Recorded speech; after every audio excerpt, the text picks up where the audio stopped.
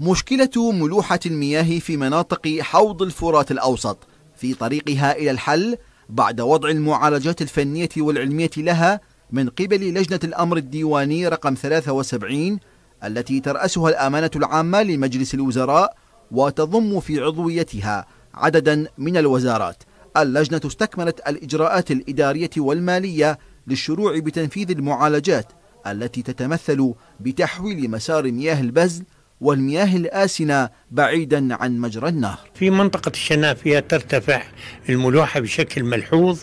السبب هو بتوجيه مياه البزل إلى نهر الفرات. أيضا آه، صدر قرار بمنع رمي المياه المجاري في أي جزء من الأنهر سواء كان على دجلة أو الفرات. راح يجي تحويل هذه المياه المالحة آه، في فترة البذل المياه الزراعية المالحة إلى الفرات الشرقي ومنا إلى المصب العام وإلى جانب التخلص من الملوحة وضعت اللجنة خطة متكاملة لتحويل جزء من الأراضي المحاذية للطريق الدولية في محافظات المثنى والقادسية وذي قار إلى أراض زراعية من أجل مكافحة التصحر وتثبيت الكثبان الرملية.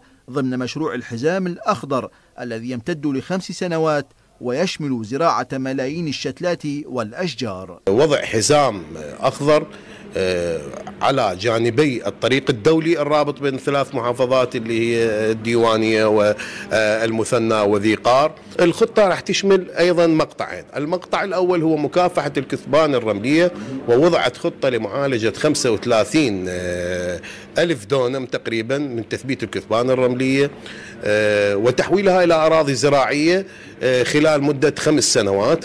وبحسب مختصين فإن التخلص من ملوحة المياه في مناطق حوض الفرات الأوسط وتوفير الماء الصالح للشرب سيخدم نحو ثمانية ملايين مواطن من أبناء محافظات الوسط والجنوب فضلا عن مياه السقي الصالحة التي ستحقق التنمية في المجالات الزراعية إلى جانب تشغيل الأيادي العاملة في تلك المناطق. من بغداد محمد جبار العراقية الإخبارية.